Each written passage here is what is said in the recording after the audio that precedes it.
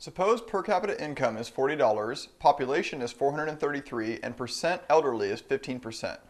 Calculate the upper and lower bounds of an approximate 95% confidence interval for the elasticity of demand.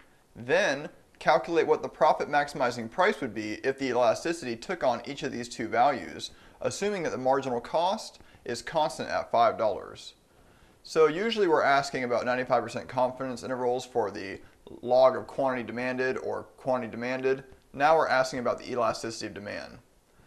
So with log linear regression, know that the elasticity of demand is equal to the price coefficient. In this case, eta is equal to negative 3.5. The upper control limit will be the estimate plus 2 times its standard error. Usually when we're doing the log of quantity demanded, we'll do 2 times the root mean squared error. However, this time we're doing elasticity, so we get that 0.3 out of the standard error from the price coefficient.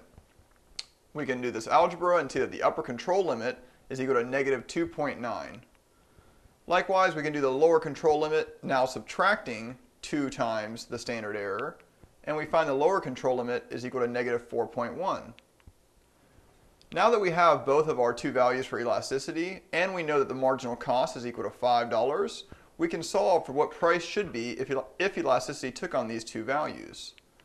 So the price for the upper control limit of elasticity of demand would be 5, the marginal cost, times the negative 2.9 over 1 plus negative 2.9, or the price for the upper control limit of elasticity of demand is equal to 7.63. The price for the lower control limit of the elasticity, elasticity demand, we do the same thing except for now we use the negative 4.1 for the elasticity. And we find that the price for the lower control limit of the elasticity demand is 6.61.